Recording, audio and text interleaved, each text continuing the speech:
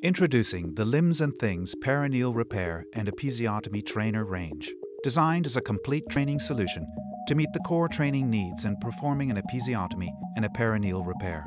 The Perineal Repair Trainer has a common base designed to allow for regional preferences and clinical speciality variations, with a choice of three different blocks for the most common traumas, plus a non-incised bespoke block. These anatomically accurate models enhance the trainee's ability to identify essential landmarks before and during repair.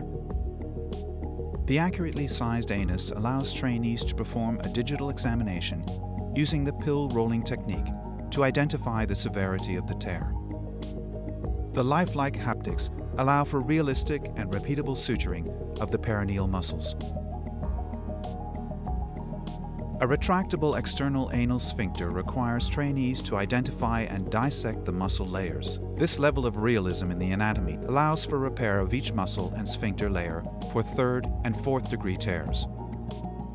The base for the perineal repair trainer can also be used for learning the skill of episiotomy. Handling the stretched perineum whilst the baby is crowning provides a closer to life experience and helps trainees in gaining confidence in performing this procedure.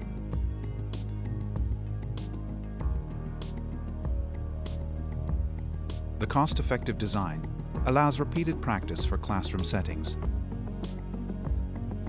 Both models include an illustration pack which is ideal for anatomy training and use in OSCE testing.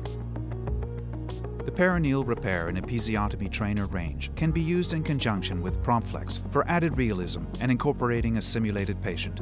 Improving confidence and skill levels, the perineal repair and episiotomy trainers are a cost-effective and realistic training platform from Limbs and Things.